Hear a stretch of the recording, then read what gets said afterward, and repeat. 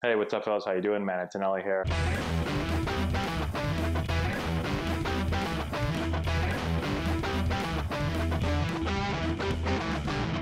Hey, what's going on, guys? How we doing? Matt Antonelli here, uh, on our way to Providence, Rhode Island for a tournament. Um, want to talk a little bit of recruiting again. I've been talking a lot lately, and I've been getting a lot of emails.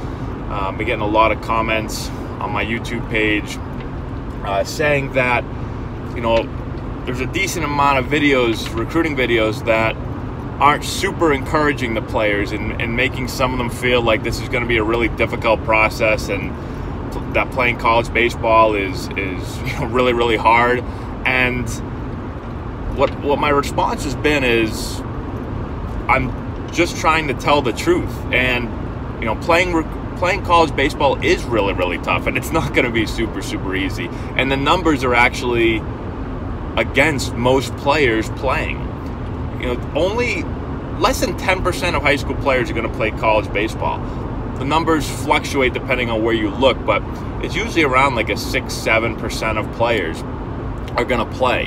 And I think there's kind of this misconception that you know if you want to play college baseball, then then you can. That there's a college for you to play, and that's not always the case. And I've seen a lot of players that play high school baseball and are decent high school baseball players, and they don't end up playing college baseball.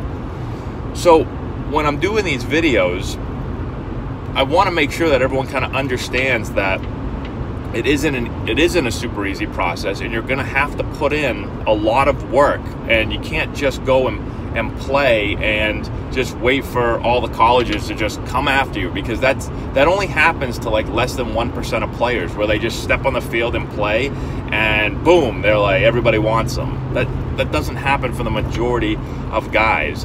And the system is kind of set up to make people think that, you know, again, if, if you if you spend some money and if you if you get out there and you know if you want to play college baseball and, and you play travel ball or if you go to these showcases or if you play in these certain tournaments or if you know these people, if you got this recruiting coach that you're just going to play college baseball because that's all it takes. And that's not the case. Does that stuff help? Yeah, that a lot of that stuff does help, but just because you do all that stuff, just because you play, you know, travel baseball and you and you and you pay to go to a camp or, or a showcase, that doesn't mean really anything. It doesn't mean that you're gonna get a college scholarship or get a, a, a roster spot at a, at a college.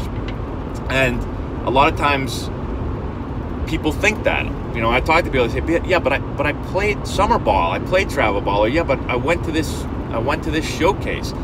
and that's awesome. But in the end, like I say, I try to say to everybody is you've got to have the skill set that warrants it, and there's a lot of kids out there. There's a lot, a lot of kids out there, and you're now competing with kids from all over the country, and, and you know players are used to competing with players in their town or you know at their school maybe even you know either go to a public school and you're competing against guys in your grade or your you know your high school or you, you go to a, a private school and maybe there's some players from around you know around the area maybe even from around the state but most players no players are used to having to compete with players around the country. Like no one really nobody's done that at a young level at a high school level. And so it's a totally different ball game and there's just so many players out there. And I try to stress that the players that this is a competition and everybody is fighting for a limited amount of roster spots and nothing is nothing is just going to be given to anybody, regardless of of who you play for or how much money you've put into it or how many hours you've prior or any of that stuff. Like there's no guarantee. And I want to make sure I stress that in these videos, not to make it seem like, oh, this is an impossible feat, because it's not an impossible feat. But in my experience, and I've been now doing college recruiting stuff for a little over five years, whether it was coaching in college or, or now running a travel ball program and helping players get into college. And then I also obviously went through it myself when I was a player.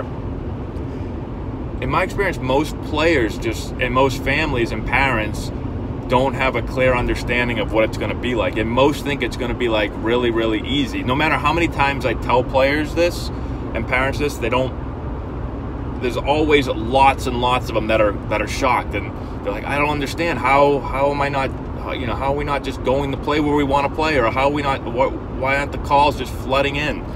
And you know, for some players it does, but for a lot of players it's not that easy, and you're going to have to do a whole lot of work. And so that's why I'm making the videos is to is to educate people because I spend pretty much every single day for me is in some way during that day going to be uh, I'm going to be dealing with recruiting, right? So I'm either reaching out to schools, I'm either fielding phone calls and emails, and I do it every day. So I'm constantly talking to coaches, and I get a really good understanding of of what um, of what coaches want and of the reality of, of college baseball and the recruiting process. And not every, obviously, if, you know, players that have never been through it before and parents that have never been through it before don't really have any idea. And no matter how much people tell you, there's nothing like actually doing it. I hear that all the time from parents and from players after the fact. You know, when, when everything's done, they're like, wow, that was nothing what I, I didn't expect any of that. That's not anything what I expected. And so that's why I'm trying trying to give as much info in these videos so people can get kind of an idea, even though most don't, won't really believe it until they actually go through it. So hopefully that makes sense for you guys, and hopefully that helps you out. Um, and I'm going to keep throwing up the videos to help. So thanks again for watching. Comment in the section below. Subscribe to the channel. Share the video with all your friends.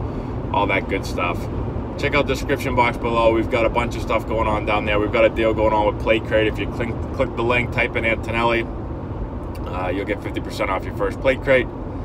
Also have our Patreon page where you can support the channel. Thank you so much if you already are. We've gotten more and more people doing that recently, so thank you very much. We really appreciate it.